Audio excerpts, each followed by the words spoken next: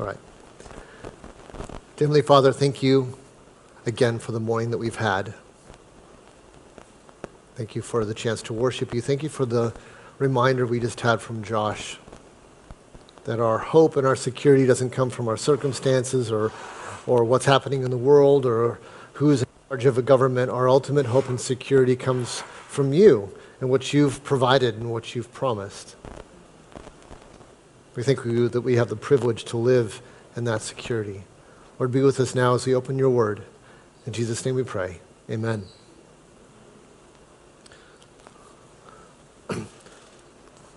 It's a, as Josh mentioned, it's kind of an awkward time of the year. I normally preach series. I normally preach all the way through books. We, um, we finished Mark that took us about a year and a half to get through, and then uh, we went through kind of a purpose of the church thing, and now we're at odds, and I don't want to start something new now.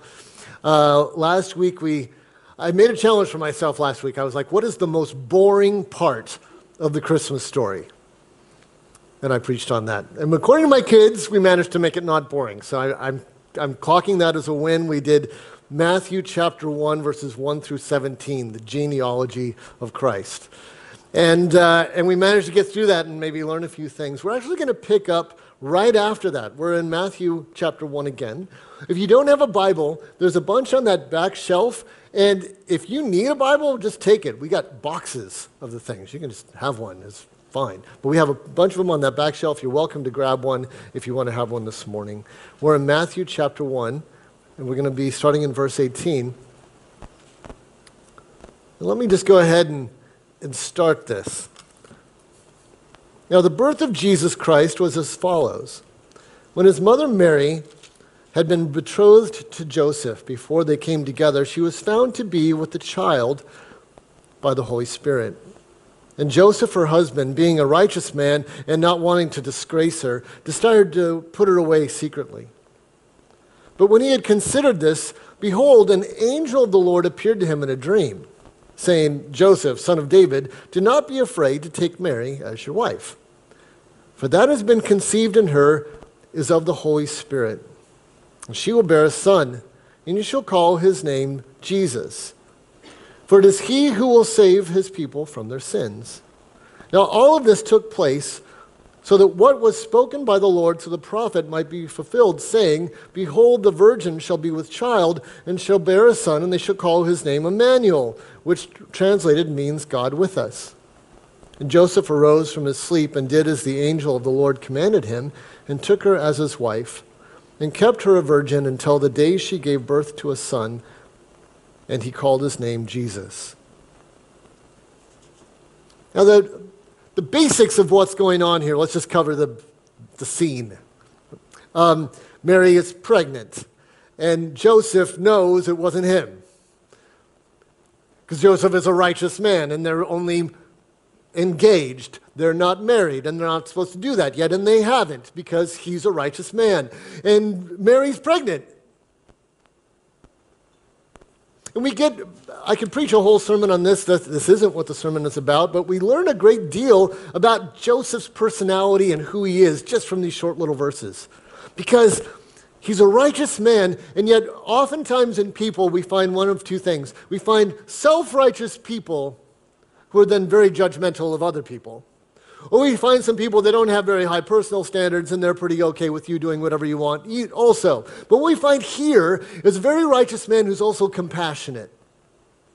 What we find here is a very righteous man who cares about this woman. He doesn't know why she's pregnant. Right now, the only thing he can possibly imagine is that he sinned, she has sinned against him, and yet he isn't vengeful. He doesn't go after her. He doesn't try to humiliate her in public. She doesn't, he doesn't do any of that stuff. Even though the, the only thing that he can think of at this point is that she's cheated on me, he tries to be as kind and as gracious and protective of her as he can, even as he's considering putting her away and saying, no, I can't marry you. That's not going to happen. But I'm not going to do it in a mean way.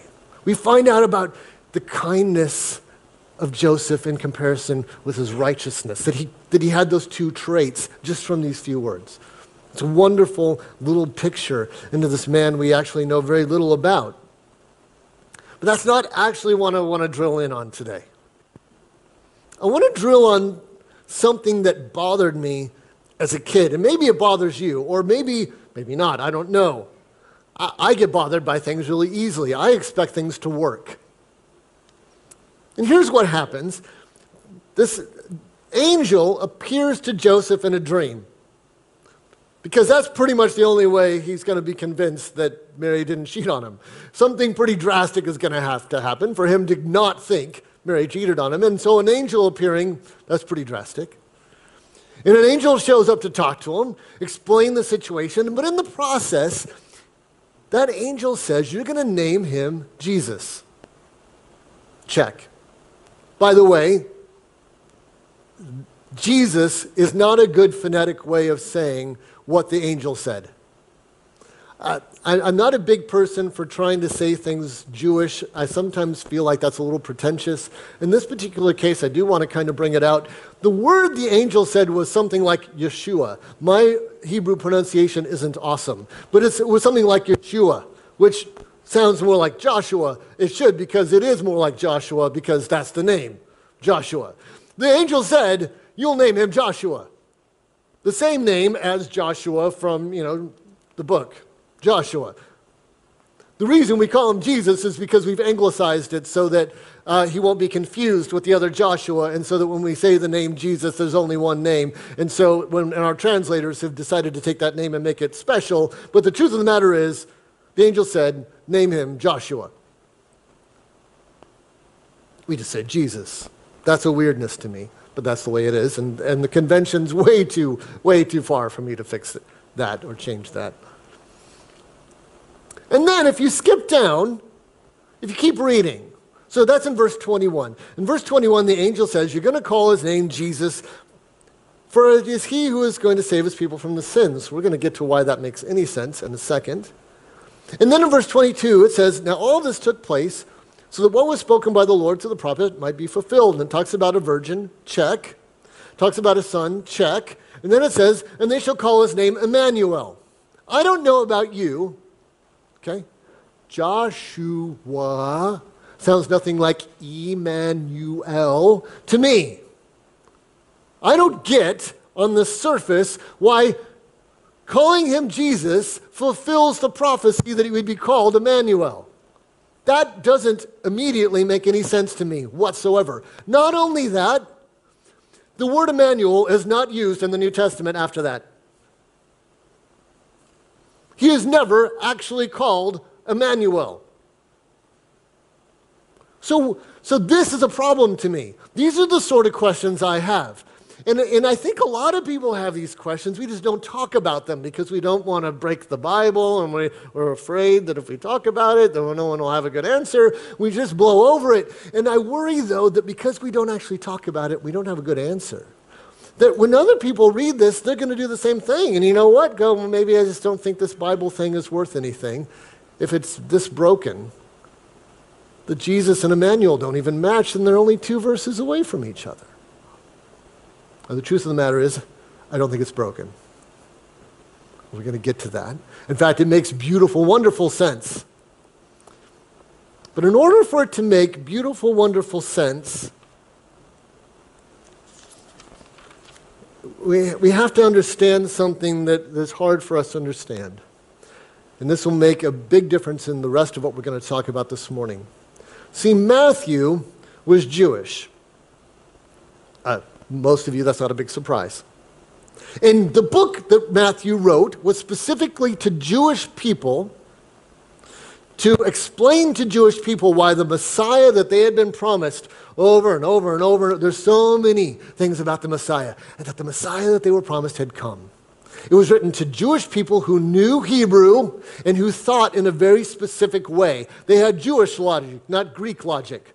We're in the West, and we're the descendants of the Greeks, and we think in a very specifically Greek logical manner that the Jews did not think in. This book makes total sense to them, less sense to us. But if we're going to understand this, we kind of have to put our Jewish hat on. We have to think like a Jew. We have to consider who it was written to before we can really start to grasp what it says and why. And it's one of the hardest parts, really, about reading the Bible. It's, it's taking a moment to consider what did the original people that got this message think? What did they see? What did they hear? How did it impact their life? Because that's really where we dig into the truth of what God was trying to say, because it had to mean something to the first person that heard it. Whatever that was, that's probably the best meaning we can get.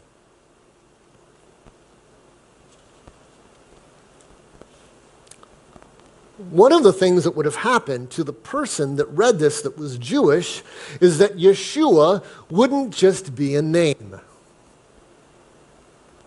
The original audience that read this wouldn't just read Yeshua, they would read God saves because that's what it means. And every person who read this of the original audience spoke Hebrew and read Hebrew. They all did, and they all knew exactly what Yeshua meant. It wasn't just a name, it was a phrase God saves. So when they read this, this is what they read in verse 21 And she shall bear a son, and you shall call his name God saves, for it is he who will save his people from their sins. Oh, well, that makes much more sense now. You'll name him God Saves because he will save people from their sins. That makes sense. Well, the truth of the matter is, if I went out to, to somebody out here in, in Exmouth and I had like a roaming reporter with a microphone, I said, What do you think Jesus means? I don't think anybody would be able to tell me. They'd, they'd be able to tell me kind of who Jesus was. They certainly wouldn't be able to tell me what the name means. And unfortunately, I think there's a lot of people in churches that could not at any given moment tell me what Jesus' name means either. So, part of what I'm going to try to do this morning, we're going to go through some of the things that Jesus has been called and what they actually mean. And in that, discovering what they mean, maybe discover better truth about who Jesus is. Here's some of the things that Jesus has been called. He's been called many things. This is a sampling. He's been called Jesus. Then there's this one aspect of Emmanuel. We'll get to that later.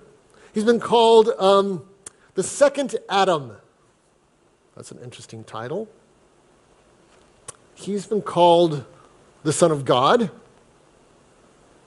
He's been called Logos, the Word. He's been called the Son of Man. Those are some interesting things to be called, and we're going to look at what those things mean this morning and see how they fit together to explain who Jesus is.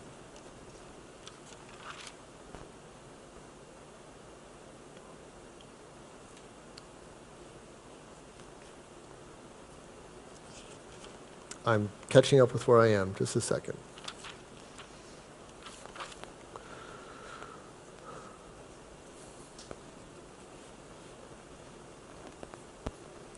So let's go back to verse 21. And he will bear a son, and you shall call his name Jesus, for he will be the one who saves his people from their sins. That's a pretty churchy word, isn't it? Sins. Does anyone outside of a church use the word sin much?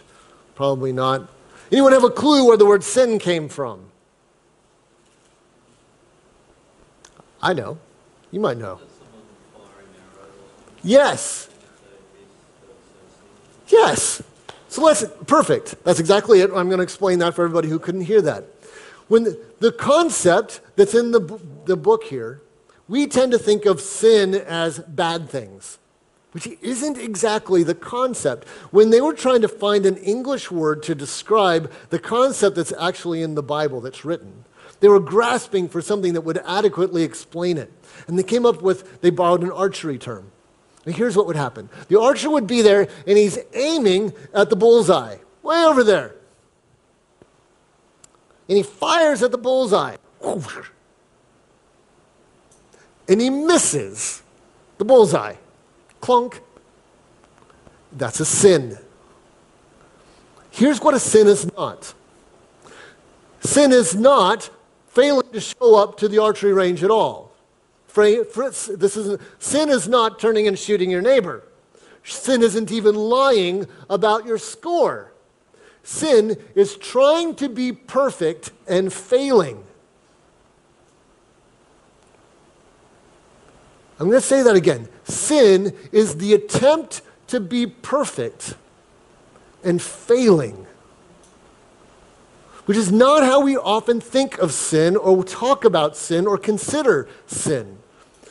But when the first translators were trying to get what's actually written by these people and give it a concept and a name that accurately described it, they took this to help us understand that. But you see, none of us are archers anymore, and we don't have these customs anymore. And we don't use the word sin, and, and, and so we've lost it.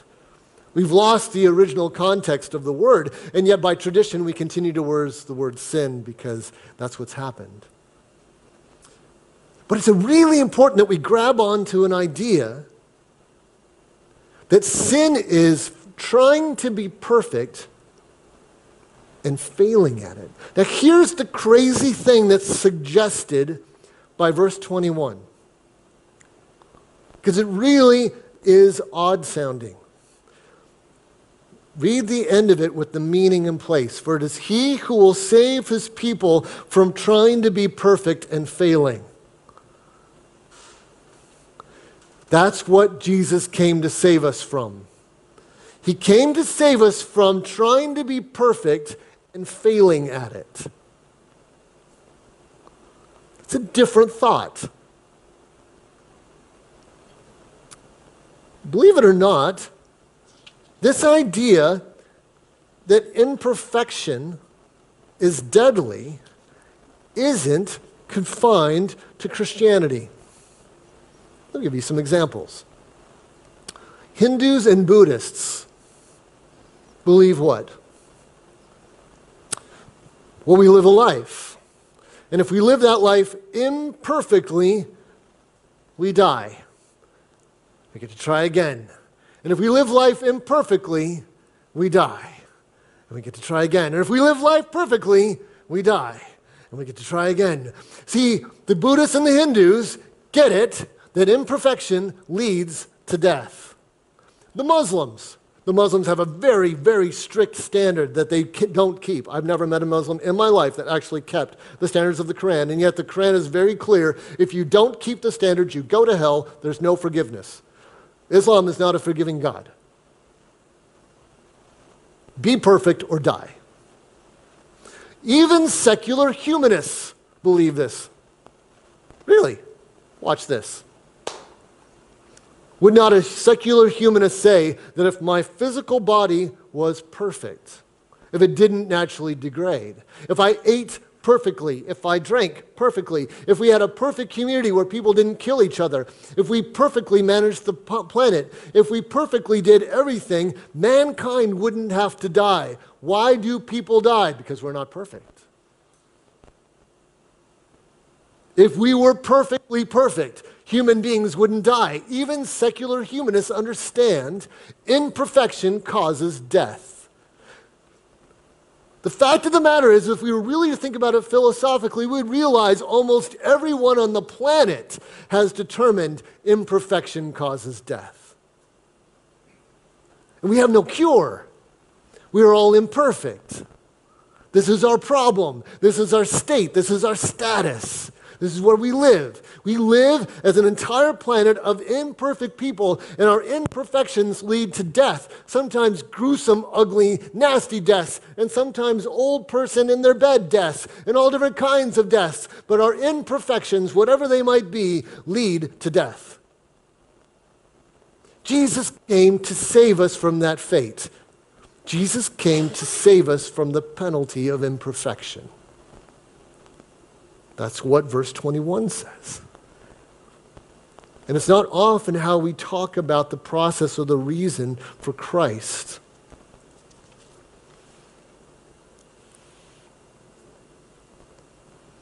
Another name that Jesus has been called more recently is the second Adam. We get that from a place, from a couple different places in the Bible, but let's turn to the book of Romans, if you will chapter 5, verse 12. Why would we call Jesus the second Adam? well, here's the first Adam. Romans chapter 5, verse 12 talks about the first Adam. Therefore, just as through one man sin entered into the world, and death through sin. So death spread to all men because all sinned. When did imperfection enter the world? With Adam. God created a perfect world. See, when God created it, was good, it was perfect. The world that God created didn't have disease, decay. Our bodies didn't naturally age. None of the things that we just talked about that a natural humanist would say kills us existed. Though God made a perfect world. And through one man, it got blown to bits. It was ruined.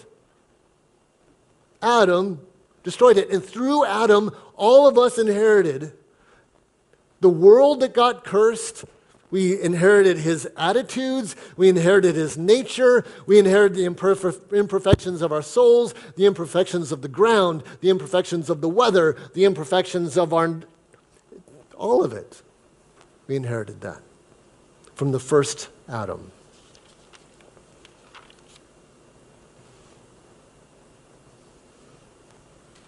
But verses 15 and 16 of Romans chapter 5 describe someone else. Romans chapter 5, verses 15 and 16 says this But the free gift is not like the transgression. For if by the transgression of the one many died, much more did the grace of God and the gift of the grace of one man Jesus Christ, abound to the many, and that gift is not like that which came through the man who sinned. For on the one hand, judgment arose from the one transgression, resulting in condemnation. But on the other hand, the free gift, the salvation that Jesus is supposed to provide, arose from many transgressions, resulting in justification. Jesus came to reset this. Jesus came to fix it. Jesus came to do something about the fact that the world was broken, it was imperfect, and it caused death. Jesus came to do something about that problem, and that's why we call him the second Adam. But how does he do it? That's the next question. How does Jesus fix this thing? We need to understand that Jesus in one way, is nothing like us. In one way, Jesus is nothing like us. We talked about Jesus being called the Word. Actually, the, the original word is logos. We're going to go to John chapter 1 real quick. John chapter 1, verses 1 through 3. I'm going to describe something to you. Maybe this will be an epiphany for you. I hope it is. I hope this is something that kind of goes, wow, I've never thought of it that way before. Jonathan, John chapter 1, verses 1 through 3. In the beginning was the Word, and the Word was with God, and the Word was God. He was in the beginning with God. All things that came into being came into being by him, and apart from him, nothing came into being that has come into being. And then if we skip to verse 14, it explains who this Word is. And the Word became flesh and dwelt among us, and we beheld his glory, the glory as of the only begotten from the Father, full of grace and truth. And that's how John introduces Jesus. John introduces Jesus as this Word. And he talks very specifically about creation, doesn't he? He talks very much about that in creation, Jesus was involved. I don't know if you've ever read the creation account and put that concept back in, but it's really interesting. If we go back to Genesis 1, say 1 chapter 3, check this out. Then God, God the Father, said, Does anyone in this room speak? Any speakers in the room? Everyone who can talk. I, no one raised their hand, okay, but I'm, I'm assuming everyone in this room can talk. I'm assuming that everyone in this room is an expert on speaking. You're pretty good at it. What do we use to speak with? Words, right? Words. We speak with words. We could say, we could say, Josh said, go outside, or we could say Josh used words to convey, go outside, and they would both mean exactly the same thing, right? The word said and the word said and use words to convey is exactly the same meaning. So here we are in Genesis chapter 1, verse 3. God the Father, God the Son. God said. The Word is right there. When God spoke, there's Jesus. You see, the will and the method. It's, it's every single time, we could just keep going. Every single time it's God said, it is God the Father, God the Son. Then, verse 9, then God, God the Father, said, God the Son, let the waters. You see, Jesus is over and over and over and over. And every single time we have the word God and then we have the word said, they're both there. God the Father's there and God the Son is there, and it doesn't stop there. Every time we go through the entire Old Testament and we see God said, there's God and there's Christ. This should open up your mind to the relationship and the, and the duality and the cooperation between the Father and the Son that is inseparable, that permeates everything that God ever did. Different, one of the ways we conceptualize the Father and the Son is the will and the action. It's not perfect. There's limits to this. The, the, the, Trinity is hard. I know that. But, but one of the ways to conceptualize this is to understand that this is part of the, the, it is an aspect of the Father to will things. It is the aspect of the Son to do things and to make things happen. So we have God said and God's twice. Those are, that's God two times in a row.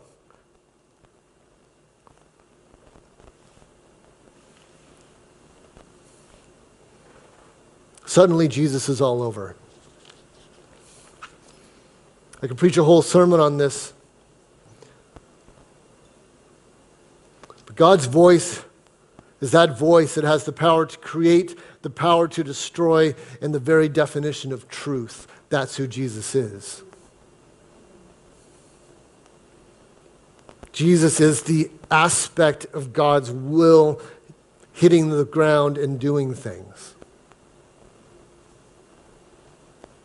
Our plight was so dire that we needed this level of power, God Himself, to rescue us. When we talk about who Jesus was, it's God's will itself, this power that made stars and planets and water and birds and fish. We needed that level of power to save us from our imperfection. That's how bad our situation was. Our situation was so horrible that our imperfection required that level of oomph.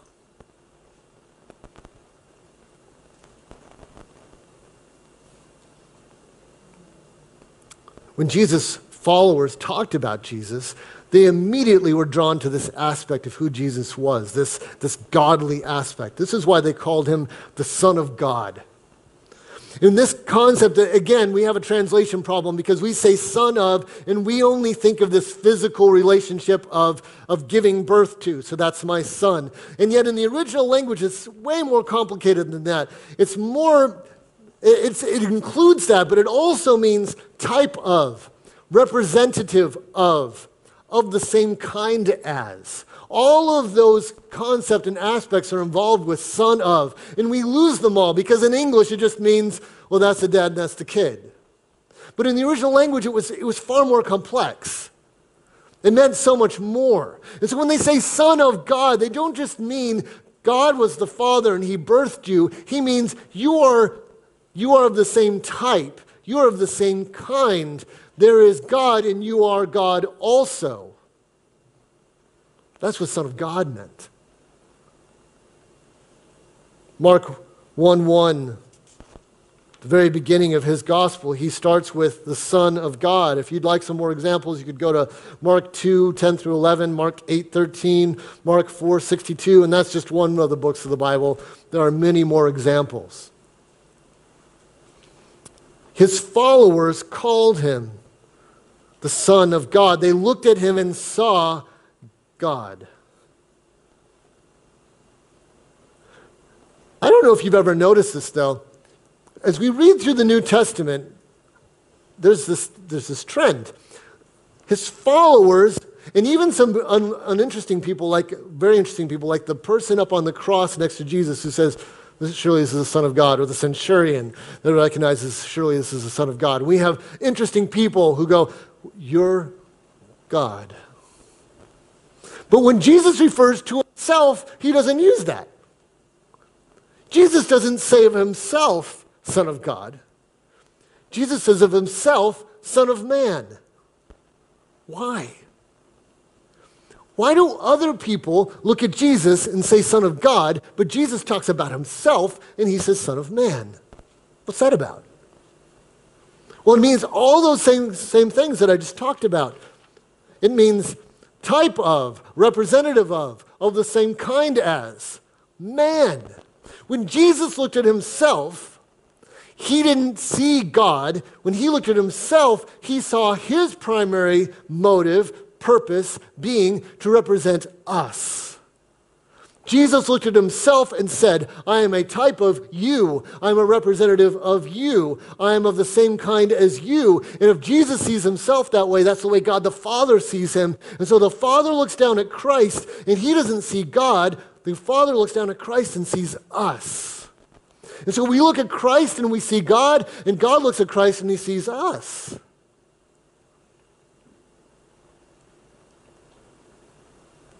And this is direly and super important because this is how the plan starts to come together. You see, if we go back to that word Emmanuel, that means God with us, way back at the beginning when we were in Matthew. What does that have to do with Jesus, God saves? You see, Jesus is God saves. Emmanuel is God with us. Now the two of them are not, it's not that they sound the same, it's that the concepts complement. Jesus saves by being with us. Every single time someone said Son of God, that's the same concept as Emmanuel. By the way, in two different languages. Emmanuel did not work in Aramaic. And so, so the, really, Emmanuel is God with us. Son of God is there's God with us. They're the same idea. In other words, every single time someone says Son of God, conceptually they were saying Emmanuel. So every single time you read in the New Testament Son of God, you're reading the concept Emmanuel. Jesus was called the concept Emmanuel, just not the word. And yet, though God was with us, when God looked at Christ, he saw us. And this allowed something brand new to happen. Because Jesus was perfect. And for the first time in all of history, someone managed it. Someone who was human hit the mark. Someone who was human was perfect, did do it right, did manage it, did live to ever live, manage to live every single second of their life properly. Someone finally managed to do it perfect. Someone finally became our champion, and they didn't have to die. For the first time ever, there was a human being that didn't have to die. And you know what he did? He died.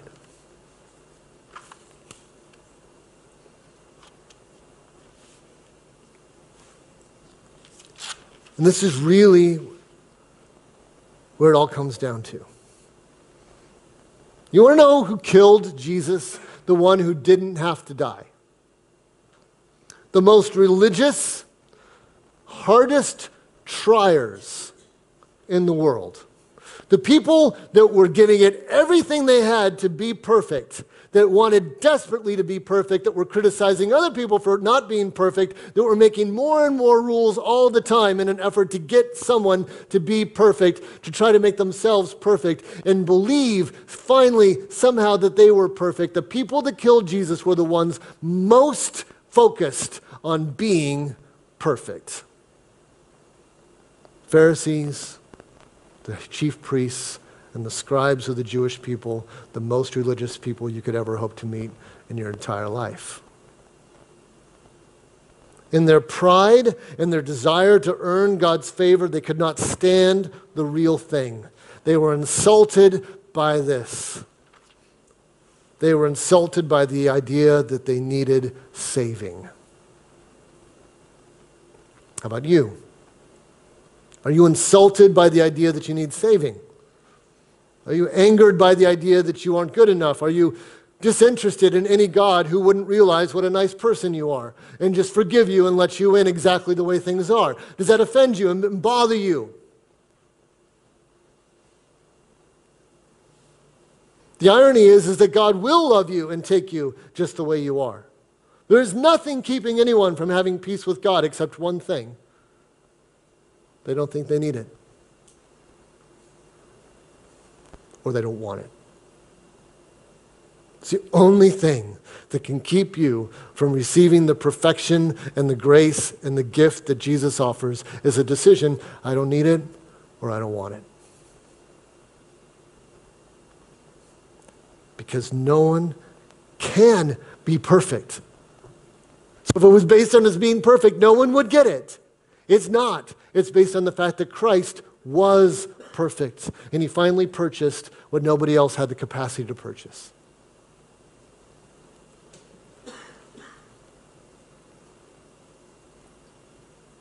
God offers eternal life as a gift bought by the only person who ever lived that could afford to buy it.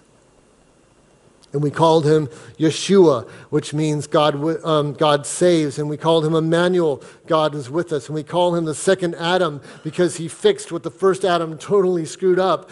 And we call him the Son of God because when we look at him, we see God, but we also call him the Son of Man because when God looks at him, he sees us and allows him to take our place and allows him to be in our stead and allows him to pay that price because when he looks at Jesus, he sees us, but he sees us perfected.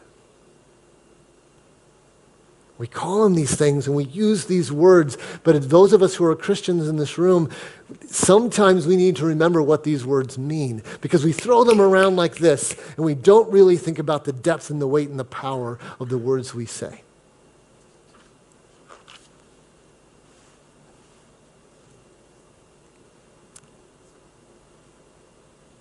Thank you, Father, for sending us your salvation from imperfection by coming to be with us, for creating new life for your people by representing God to us and representing humanity to yourself.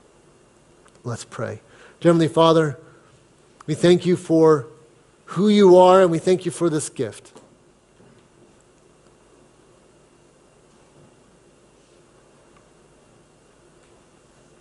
Lord, in you, you came here and you, you had prophesied it. Lord, there, there are so many prophecies that came perfectly true.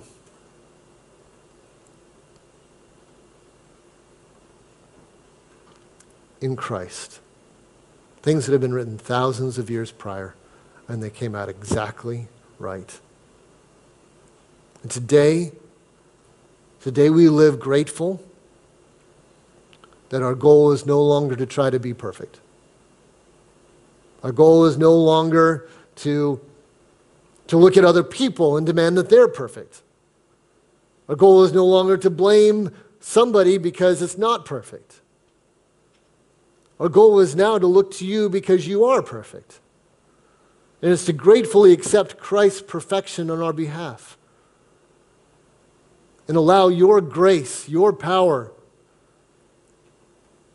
to change us to grow us, to do things in us that we never could have done, so that one day we will be in heaven and we will be perfected as you are. Lord, we can't even imagine it. And all the things that the secular humanist God think that it would take to have an eternal life, we'll have it all. We'll have that. We'll have physical bodies that don't decay.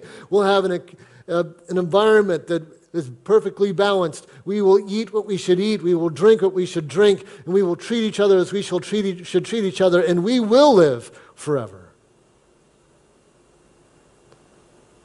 But Lord, perfection is only found in you.